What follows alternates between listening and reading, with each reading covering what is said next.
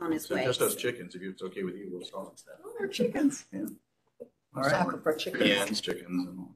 Shall I, shall I jump in? Yeah, Yes, sure, please. Sure, sure. Oh, goodness, that's very, very sensitive. Oh, that's nice. Megan Dryswell. Well, thank you. So this is our an annual update, um, which is our best practice that we've been doing for 18 years, to be honest. We're, um, you know, we like to sit down with, you know, the city council and, and bring you up to date with what's new with the drive, some of our initiatives, you know, just make sure there's a good, you know, solid dialogue, you know, between us as we go forward. I mean, there's no question. Good afternoon, Lily. On? There's no question to us, anyway, that this is our most important partnership. I mean, we have partnerships with lots of organizations across the region.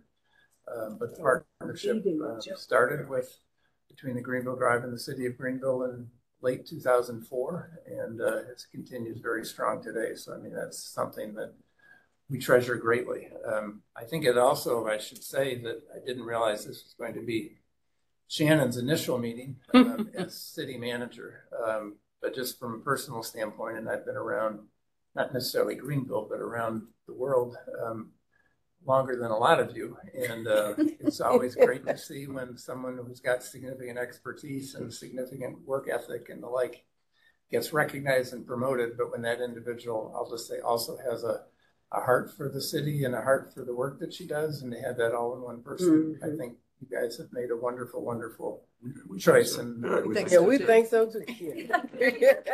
You want to hire her for the drivers that what you're saying? Too bad, or Hands a off. lot less stress, except when it rains, except when it rains. smart enough not to do that. Yeah, It's stressful too. Uh, but no, our last time together was uh, May the 9th, and so it's been a little over over a year, and there's no ask at the end of this, so you can all just take a deep breath and relax and just you know kind of enjoy. But there there has been some very significant developments in the world of baseball um, that I think it's important as partners just to bring you up to date with what's going on, what's keeping us at night up up at night and the like. So today, um, you know, three main topics. Um, you know, Fluor Field facility updates and what we're calling the West End Entertainment District, the progress we're making on that. Um, talking about our community uh, programming and, and drive programming, and uh, then an update on uh, minor league baseball, major league baseball, um, what's going on there. I will say on the facility side, um, there's been more construction and related construction activity than than ever. Um, that involves District 356, and hopefully you've seen that firsthand. And then the facility standards that we've also completed in response to Major League Baseball. Um, and the city was very helpful in assisting us with some of the financing, you know, behind that. So we certainly want to say thank you, and we're most appreciative for the assistance on the facility side. And so we want to give you a sense of what what all we've invested in along the way. On the community programming, um, Jeff will cover that in detail, but that's um, that's our secret sauce, if you will. I mean, at the end of the day, thinking of thinking of it like technology, the the hardware is important, but the the magic is really in the software. And and our baseball business is the same. The the stadium is is wonderful and it's very important, but the, it's really the programming that we do that um, kind of makes that come to life and, and really builds the partnership. And then uh, back in January 2021 was the new player development system that was, I'll use the word imposed on us by Major League Baseball. Um, and now we're into two and a half years into that relationship. And just like any new business, um, there's some surprises along the way. There's some things that are good, some things that are not so good, and just keeping that uh, keeping that dialogue in, in front of you. You've, for those of you who've seen this slide, you've seen this slide before, but our mission hasn't changed. We're steadfast, um, you know, and great that Lillian's here. I mean, she's the one who coined the phrase back in June of 2005 when we were digging the hole for Fluor Field, and she said this is more than about baseball. And to be very honest, I wasn't fully aware of everything you meant with that statement, but it really has, you know, come to life. Is this this is much much more than about baseball, and our business isn't the business of baseball. We're in the business of making memories and making the upstate a stronger community. And you know that, and I know you're all looking at different economic development councils and we very much see ourselves as an economic development asset for the city, for the county, and, and for the region. And uh, so making the upstate a stronger community is something that um, is what we are all about. Hopefully, you'll look at this slide, and, and I would just say sometimes a picture is worth a, a Mhm. thousand words on the Mhm. those are the same picture, um, just 18 years separated from 2005 to what um, basically the Fluor Field site looked like in 2005, and on the right is what it looked like um, recently. That's a great shot. Yeah, It's a great shot. Mhm. You know, we'd never seen, uh, I walked out there with Lillian one cold Saturday, Saturday morning or something, or maybe, maybe it was Friday morning, but anyway, never, and I'm serious, never seen so many syringes Mm. in the ground in, in one place. It was just unbelievable, the drug activity This is back in 05. in that. Mhm. Yes, back in, the- not, not since.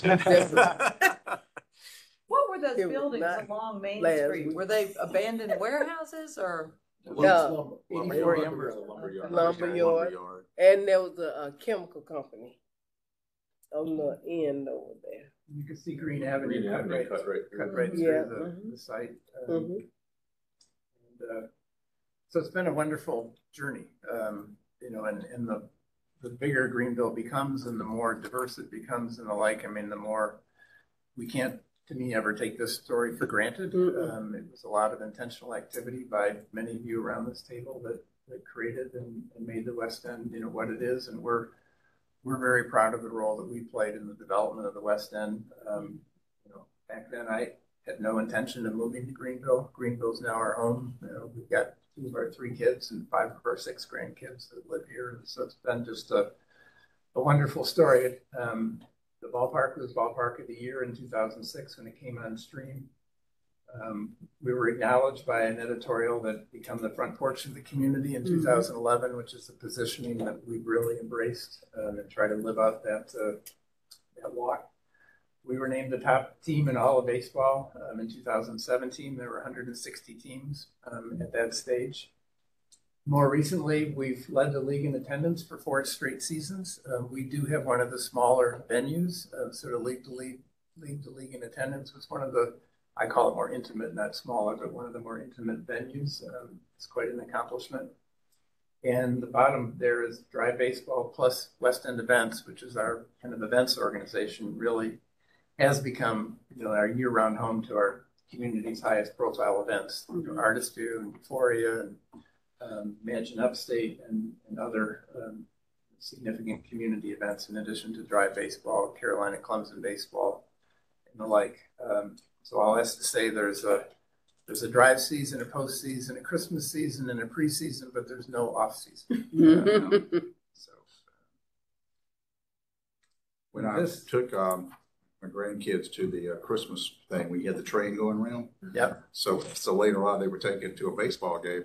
They wouldn't know where the train was. well, the train's They there remembered behind it. right field. where- Where's the train? We'll be back next December. I'm disappointed. It's just. a They wanted baseball it that game. night. Unfortunately, the train is called Norfolk Southern Railroad, but uh, I think you're thinking of a different one. Mhm. But I mean, these were um, actually for Mary Douglas back in the fall of 2021. We haven't, you know, we've never done a, a community impact study per se, um, but uh, these are numbers from the from the city. Um, so clearly, I think Fluor Field has you know, been the catalyst for the renaissance of the West End. You know, you can see the number of new building permits, the property values, and these are exclusive of, of uh, County Square and exclusive of anything to do with Unity Park um, in terms of business licenses, number of sales. On the right side, um, you know, I think very important number of you know, multifamily developments, 400 Red Deca, South Ridge, 408 Jackson, Suncap to come, um, and then what I'm calling, and I think we're all starting to call it now with the West End uh, master planning that was done, a, an emerging entertainment district that includes District 356, includes the Bellwether, which is the former Liberty Tap Room, the Children's Theater, Gather Greenville, you know, Markwood Station. Not quite sure of the status of the Kimpton Hotel, but the New Realm Brewing Company coming in the cigar warehouse. So there really is an emerging kind of entertainment district amidst the multifamily developments that are coming. Is that. Bellwether place open for lunch yet, or is it just dinner? Not for lunch uh, just yet. Um, that's, um, Where Liberty Tap went. I know, I've Steve Dow ate there last week. It's not open for lunch. Four o'clock. Maybe he just had an Yeah. early dinner there, but he said it's very, very good. Food is- yeah, I haven't been there. Very good. That's what he Yeah, said. very. And he's a connoisseur. Food choice. Food, of food made by other people. ah, very good. I'll let, so that's, that's kind of where we've been, and I think this is a little bit of a view as to the, the direction that we're, we're going. Well, there's a couple, um, kind of pivot points. I mean, one, we tell our, our staff kind of every day that, I mean, there's incredible pride in the eighteen years of progress and community impact and the work that we're doing. And, but we also have this kind of relentless lens on continuous improvement and we can never, um, be satisfied with the impact that we've had to date. We always have to be thinking about the community and how can we add more entertainment quality and more impact and, and, um, um, just you know, more, more benefit to the, to the community in general, more memories. And when you look at, um, kind of side by side, the, you know, the impact of what we've done with the, the ballpark on a year-round basis and then adding District three fifty-six in the last year and what that's done for us from a, just a year-round event standpoint, um, it's really transformed our business. I mean, we've, really made an intentional pivot in the last four to five years to, this is about a lot more than just baseball, baseball season and year-round community events. And District 356 has really taken that to a entirely new level. Um, looking at a couple of the um, just featured projects that have taken place at the ballpark, so you're up to speed on kind of everything that's happened. Really starting with the facility first, ballpark um, based on a lot of those kind of the new Major League Baseball facility guidelines and the rules that are guiding the entire industry, um, we had to make some very significant updates to the ballpark. And um, so, I mean, the first kind of marquee update is this is what people don't see very much is that everything that's actually underneath the 500 club area of the ballpark. And We're welcome to arrange a private yeah, tour. it's spectacular. I mean, it's amazing. I mean, there's eight thousand new square feet of, of space in the in that five hundred club area, and when you look at the what we've done from a player clubhouse, locker room, technology spaces, you know, meeting areas, you know, brand new um, transformed weight room, kind of training room area. Um, we really branded it nicely, kind of telling stories of the drive and the Red Sox. And this is the featured area where the players are spending all their time, so really telling that story of all of the alums that have come through and the like. Um, and the whole player facility side of the ballpark has been transformed um, based on these these new guidelines with that. So that's that's uh, you know the pictures do uh, don't, don't even really do it justice when you look at the, all of the work that's been done from a locker standpoint. And some of these quotes are just I mean they we in the way we interpret the quotes too is there's just should be pride from everybody that's involved in this project in the community when we see I mean, these are quotes from players that have come through, staff of other teams, Major League Baseball leadership, and the like. And we've heard it for years, and we continue to hear it now. That you know, Greenville sets the standard, not just from a facility standpoint, from a community, from a city. You know, this is as good as it gets in terms of minor league baseball. We continue to we continue to hear it. And some of the less kind of maybe not quite as sexy updates as the locker room, but other kind of facility updates that we um, you know, needed to make from a facility standpoint, you know, netting the entire park, which was critical for us from a safety standpoint. Um, we had to also from a safety standpoint, but also the aesthetics, added pads to the entire outfield, uh, really updated the look and feel of the whole outfield and uh, improved the aesthetics there. And then an update that's coming actually next year, 24, is we're totally gutting and redoing the lighting at the ballpark to be um, LED across the board, both in terms of the product and the system um, standpoint. So when you think about some of those higher end football games that you've been to with the lights and the things you can do from an entertainment standpoint, that's really going to transform our ability to bring lighting into the fan experience that we're excited about. I mean, a good couple of good examples back on the prior slide, the two drive mannequins. I mean, that's something you might see at USC or Clemson's football area. You'll never see in a minor Mhm. league park, but we want to do that extra. And then on the LED lighting, the minor league minimum is a hundred candle power across the outfield, and the major league standard at all the major league parks is 125. So brighter lighting. So we're you know we're going to the 125 you know standard um, Mm. just because we're we always like to just surprise people sometimes with some unexpected things and to have superior lighting. I mean, you can't do many more things for your players because most of the games are at night and to have superior lighting is something the Red Sox and Major League Baseball will both very much appreciate. Did the Jack Porter group do y'all's inside for the mannequins? It was actually our uh, architect, DLR, out of uh, St. Louis, who designed the ballpark originally and then handled all the major renovations. They have a experiential graphics team that did the work. We worked with Christina a lot in 2017 when we did um, some of the, the 500 Club and the like. Mhm. Um, She's a season ticket holder, so Mhm. good relationship there. And then in terms of um, District 356, so uh, this has been our first full season, both kind of the event season and baseball season to activate District 356. And, um, It's more than lived up to our expectations and um, just capabilities of what we can do from a an entertainment standpoint. I mean, it's, again, it's modeled after Jersey Street and Fenway Park in Boston, which is their entertainment um, uh, area right adjacent to the ballpark that they use for to activate all the events that happen um, within Fenway. So that's the model that we've used here. Um, just being able to take the fan experience, the entertainment quality that fans have really come to expect inside the ballpark and have it start on the street. And, uh, you know, starting the, the marquee events in Greenville are, are anchored here in one way or another. We think of you Artisphere's opening night gala, you actually mentioned the Kringle Holiday Village had an opening night component to, to Kringle here. Um, We've had community health fairs. I mean, we've had all kinds of different um, event types with baseball and without, and it's really transformed our ability to host um, community events in just an additional way, pretty good. And then kind of part of the the um, District 356 project is is also down towards Augusta Street too, which uh, Yeah, so this is probably District 356 extension, if you will, which um, essentially when we went before the design review board, if you haven't done that, I recommend that for everybody. But, uh, I mean, it was very quite, I mean, people joke and I do as well, but their input was very helpful, at least I thought it was. And they felt we had more landscaping and the like as we came down to Augusta Street. And the comment was we needed to take, take that urban feel that we had achieved along District 356 and extend that more urban feel right through to Augusta Street. And I let them know that was working with Duke Energy and working with Norfolk Southern Railroad because it was their property and that's not always easy to do. But we've been successful in um, basically coming up with the design that you're seeing that uh, um, the review board is very happy with it. Um, working with Nick and Shannon and others from the city, we we're in the process of relocating the, the traffic signal, the control boxes that are there, kind of cleaning up that Mhm. that corner, um, continuing the urban feel, and, and I think it'll, I mean, I think it really you know, presents itself very nicely. And then if you think ahead a few years to master plan on the GTA side of the ballpark, I think it marries itself ultimately well with the master plan that's been developed and right across the more green space on that side of uh, the master plan. So we're Mhm.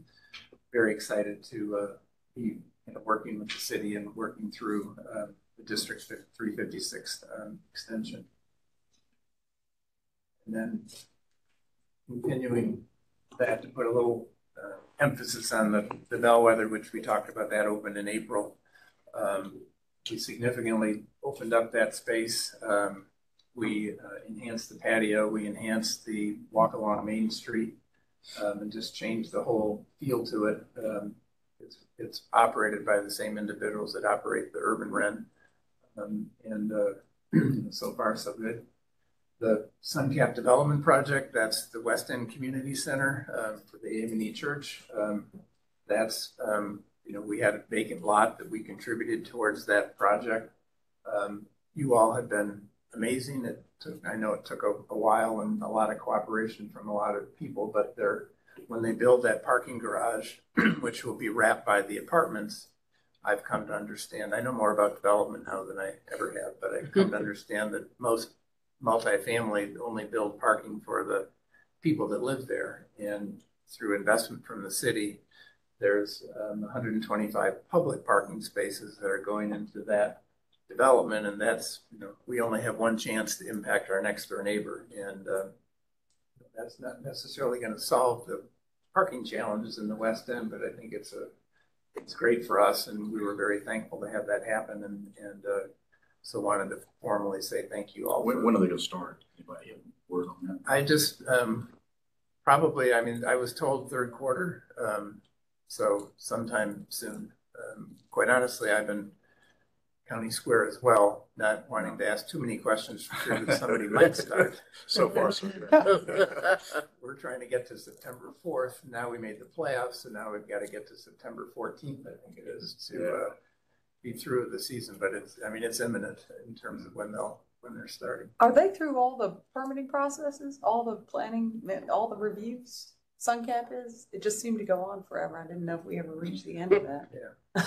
Well, and part of it was adding the parking that had kind of gone down a section, and then we were able to kind of get the parking reintroduced, and the city was very cooperative, Suncap was very cooperative, and very persistent, so anyway, we got that. Every every little spot helps. Yeah, and then the New Realm Brewery, that's the cigar warehouse, um, they've now broken ground, um, and, uh, that's, will be, I think, a world-class brewery and a scratch kitchen. Again, adding to the entertainment district, and if you haven't yet, I, if I'd have known it was Shannon's first day, I would have brought a Rally View, a Rally Bill Lager for each of us, it's probably not appropriate, but, um, partnership with New Realm, we've launched Rally Bill Lager, which is the official beer of the Greenville Drive, and joking aside, it's a Vienna lager, and it literally is the top-selling uh, craft beer in the upstate. It's been very successful, having been introduced early in April. So we're very excited about that. So, so everything that you've just seen, that's about twelve million dollars of expenditures that have taken place since we last, you know, got together, and uh, you know, we're there's a lot of you know effort, um, but we think it's you know it's like anything. You know, once you see the final product, it's something we're all very you know, very proud of, and I think it adds to already what was a, a world class facility, and I think it just makes it that much more uh, memorable. To Then, um, I mean, even with all the amazing construction projects and the development that's going on, um, around the, the ballpark, and continue to go, uh, continue to advance the, you know, I, I continue to argue that the magic of Fluor Field, we've talked about it already, the memories, the impact is, is what happens programming wise inside the ballpark. And people's view of, of us and our place in the community and the upstate is because of everything that's, that's hosted and showcased and celebrated within the stadium, both, again, both attached to baseball games and also on a year-round basis. And our, know, we're especially proud of the last, you know, twelve months and the quality of our programming, and the quality of our events being more relevant and impactful um, as ever. And I mean, honestly, we could spend, this is only a snapshot, we could spend, you know, multiple hours going through all the different events and programs that we use um, at, at the ballpark or, or showcase, but whether it's the showcasing our incredible downtown with, with Drive Business Downtown event or the city's birthday, which is coming up um, on August 8th, and Green Day, um, our Reading All Stars program, which is, I mean, that's a showcase 16, 17 year program, encouraging kids to read and celebrating academic success all across the upstate. Now we've got actually closer to 1.3 million kids come through that program across 17 years, which is, you know, amazing. You look at some of the reading scores coming out of post-COVID. I mean, reading is even more important today than it was, you know, two, three years ago. So I mean, they have a reading program that's well accepted. It's partnered with Michelin, and it's. Uh, I use it with my own kids too. I mean, my oldest is eight years old, and now he's. I mean, I'm using the reading program as a way to keep him from laying on the couch all summer. So it's a very strategic tool. And then, I mean, diversity, equity, and inclusion. Um, continuing to make more and more uh, an emphasis you know, around using the ballpark for you know, for DE and I programming specifically. Um, the three things that we pulled out. We had a um, back in back in April, had a you know, Jackie Robinson Day was celebrated all across baseball, where we, we uh, celebrated Jackie as part of our, our Black Spinners programming. And earlier in the day, working with DeVita and the um, Rainbow Push Coalition, hosted a HBCU career fair on the concourse before the game. Mm-hmm. We had over 30 HBCUs on the concourse. We had close to, I think we had close to 750 kids come through, you know, totally free, being able to use the concourse in the ballpark in that way to um, you know, spotlight HBCUs and, and academics. It was very exciting. It was I really it. well done. I mean, Eric, our general manager, really spearheaded that for us, working with us. did an awesome job. Um, and then also the other Boys of Summer, which was our our second um, Black Spinners game back in June. Um, that's a documentary produced by Lauren Meyer um, was talking about telling the story of, of uh, Negro League baseball and kind of individual stars within the in the league and um, you know all the trials and tribulations that w- they went through as they pursued a career in, in professional baseball. And it's an amazing documentary, and at that June um, Spinners game, we actually showed the documentary on the video board, a pregame screening, and then had a Q and A session with Lauren and a couple folks afterwards um, on the dugout top. It was the first stop in a nationwide tour across various minor league facilities across the country. It was yeah, just an, uh, very well attended another way to spotlight diversity in a, really impactful way. That worked out tremendously well.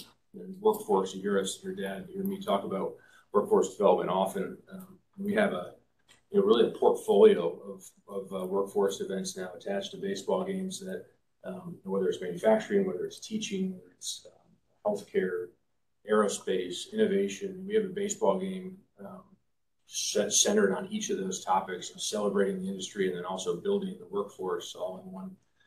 You know, A&E is coming up in a couple weeks where we're going to transform the entire concourse with you know, manufacturing and engineering, um, high touch engaging exhibits from about 20 plus companies in the upstate. We'll have 2,000 kids here, K through 12 students that attend on a complimentary basis, kind of building that um, workforce of the future. It's just a, it's just amazing what you can do with a, a baseball stadium when you talk about workforce. So again, we could spend hours on this slide in terms of the amount of time we put into um, but really the focus is we, we were always sitting down, kind of starting every day of how can we use the ballpark for good within the community. And Just to put a plug in and again, thank the city for the support that you all have given to Next. Um, I know that's something fairly new in innovation and entrepreneurship. And I think that has a lot to do with where Greenville is and importantly, where we're going. And so we have a night that partner with the city, partner with Furman, partner with Next to really celebrate entrepreneurship across the across the platform. And I think that's been very. This will be the third third year that we've done it, um, coming up in September. So that's the facility, that's the programming, and then the the next would be um, the update on uh, minor major league and minor league baseball. As I said, you know, it's been two and a half years in and you know the change is accelerating. I think it's fair to say.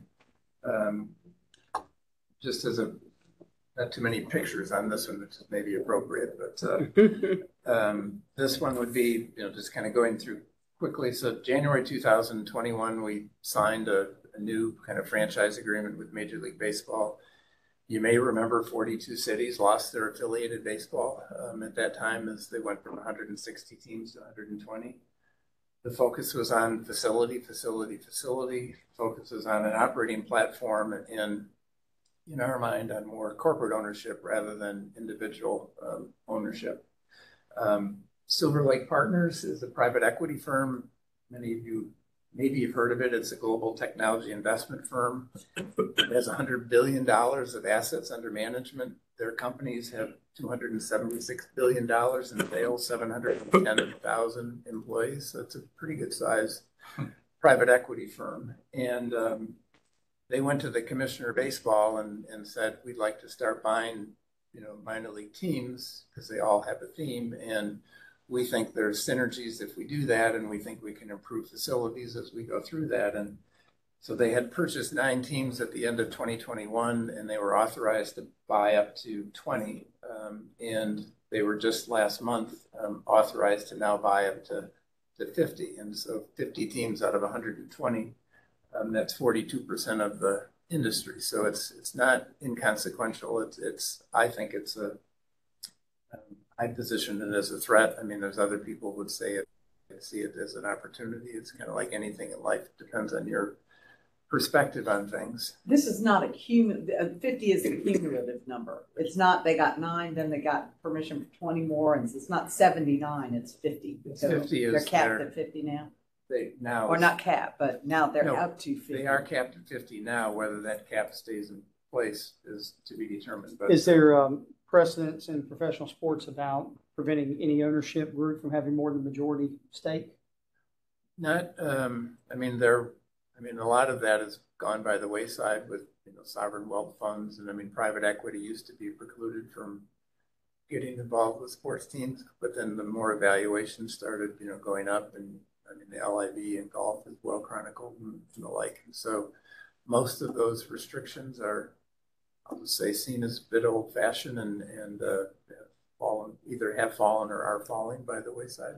Um, I mean, their thesis is to, you know, supercharge the growth of each club through, you know, sponsor sales, event operations, licensing, marketing, content creation. You know, the more that gaming, the more that, you know, kind of gambling becomes part of the sports world to have assets that can be aggregated in that way um, is, a, is a way to create value.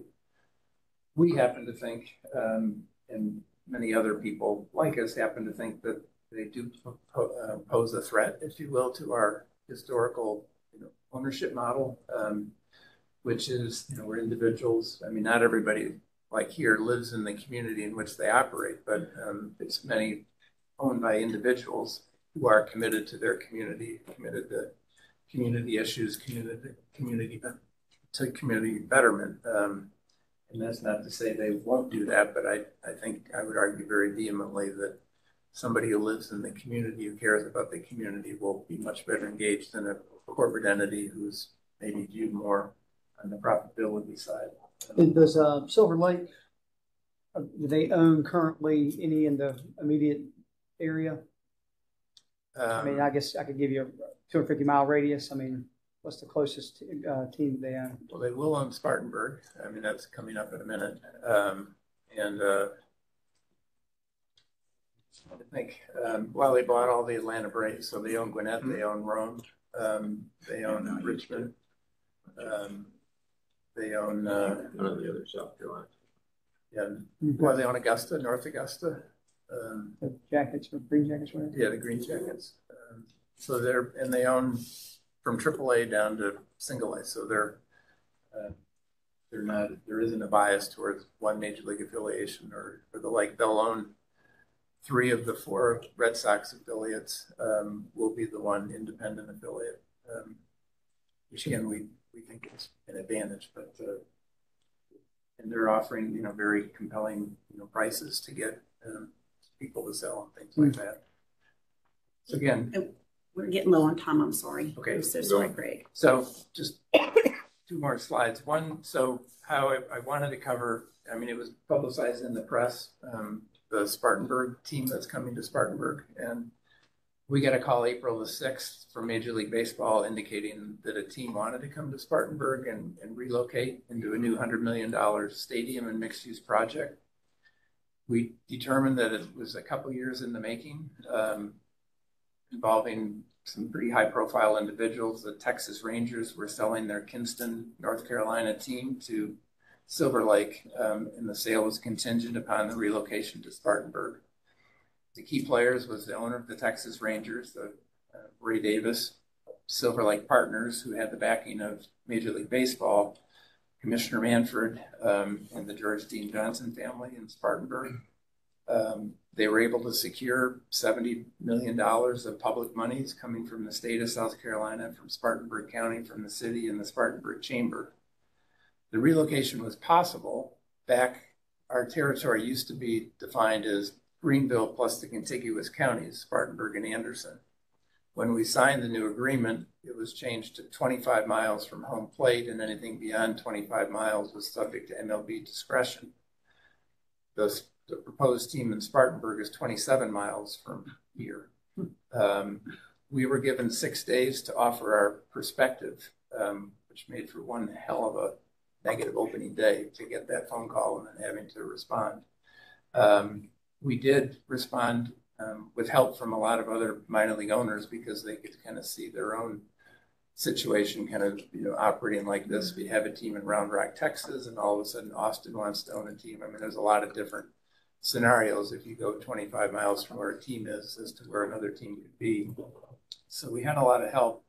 Um, we took the position that Spartanburg, Anderson, Greenville is essentially one integrated market, the upstate of South Carolina. Um, we've been very committed to regionalism. Um, you know, all of our workforce programs go across the region. We've got a big relationship with Milliken, a big relationship with AFL. you know, all the growth here is occurring kind of in Simpsonville, Five Forks, Greer, you know, along the county line. And so if you look at the future, you know, it's going to be equidistant between Spartanburg and Greenville. So it's a significant threat, if you will, to our to our business. And but um, long story short, um, we we made a very effective presentation where Greenville, if it wasn't before, it is now very clearly on the map of Major League Baseball. The commissioner himself said that uh, he referred to Greenville and us as a model franchise, um, but we couldn't stop the momentum. Um, at the end of the day, as happens in life, kind of money and relationships, you know, prevail, and there will be a, a new team in Spartanburg beginning planned on April 2025. So, um, so three kind of takeaways. This is the last slide. Um, one is competition has increased. You know, I'll just say our family commitment, our community approach, you know, our resolve. I mean, we're kind of competitive people. That's nothing's going to change in that regard. But our city with the, our partnership with the city is is very important. I mean, you you all have been wonderful. There's nothing else you could have done to, you know, to stop this, if you will. And as Jeff said earlier, our secret sauce is always going to be the, the community programming that we that we follow.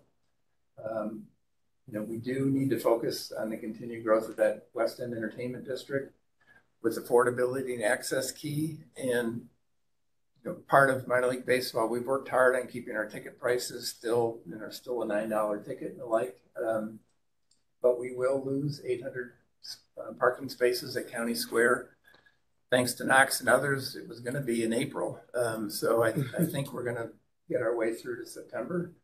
Um, but clearly for next year, those spaces are going to go away. And so we're going to have to find uh, probably some kind of patchwork solution and, and cities help some this year. And but we'll need, need an even more concerted effort for next year. We do need a long-term parking solution. Um, you know, whether that's Greenville High, County Square, you know, the GTA site, for the Presbyterian Church, um, and ensuring that GTA master plan um, that Rob um, Robinson. Robinson has developed that that comes to life. Um, I would say from my personal viewpoint, I don't need to own anything, but I'd like to have influence as to what happens there so that we can integrate that development with Fluor Field. Um, and then the last point is, you know, we are in a position of strength. I mean, the Red Sox love us. We have a brand new respect for Major League Baseball. Between us, they're feeling a little guilty as to what's happened to our neighbor, um, but the threat is is there. Um, and you know, the thing that struck me is that when you read the read the press release, it's you know the state of South Carolina, the county, the chamber, um, you know, all you know at one Spartanburg, if you will, it all happened kind of in one meeting. Whereas for us to get alignment across our um, the public community partners requires like five meetings between the state and the county and the city and GADC and the chamber. Um, it's just a, tougher process to get alignment um, than it is right now in Spartanburg on issues like we're facing. So nothing, again, I don't think there's anything you can do or I'm asking you to do just to be aware of the challenge and I'm sure there will be some, you know, asks for help along the way as we kind of navigate our way forward. But but just in summary, again, we appreciate the time, appreciate the interest, the dialogue, the commitment,